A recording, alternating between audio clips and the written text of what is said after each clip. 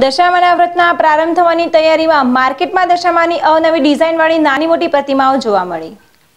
ધાર્મિક તહેવારોનું મહત્ત્વ સમજતા તહેવારો આવતા પહેલાં તેની તૈયારીઓની શરૂઆત ખૂબ જ ઉત્સાહપૂર્વક કરવા માટે શ્રદ્ધાળુમાં અનેરો ઉત્સાહ જોવા મળતો હોય છે. ત્યારે આમોદનગર સહિત પંથકમાં દશામાનું વ્રત કરવા માટે શ્રદ્ધાળુઓમાં ભારે ઉત્સાહ જોવા મળી રહ્યો છે. આમોદ તથા ભરૂચમાં દશામાની અવનવી ડિઝાઇનની નાની મોટી અને પ્રતિ- પ્રતિમાઓ વેચાણ અર્થે મૂકવામાં આવી છે.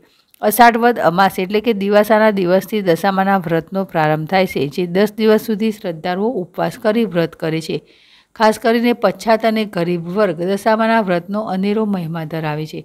જોકે આ વર્ષે દશામાની મૂર્તિમાં પણ ચાલીસ ટકા જેટલો ભાવ વધારો નોંધાયો છે.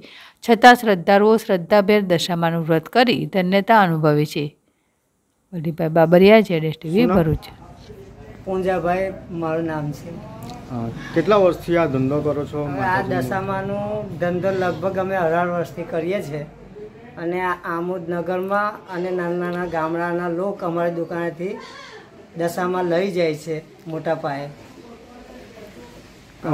આ વખત કઈ ભાવ વધારો ખરો છે મૂર્તિમાં? એમાં ભાવ વધારો મૂર્તિઓનો તો લગભગ ચાલીસ પચાસ ટકા વધી જ ગયેલો છે.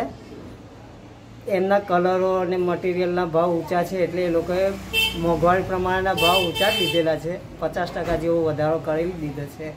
પણ તે છતાંય આ એક શ્રદ્ધાથી લોક આ દશામાનું વ્રત કરે છે અને શ્રદ્ધાપૂર્વક જ વ્રત ચલાવીને આ અમારી દુકાનેથી માલ લઈ જાય છે.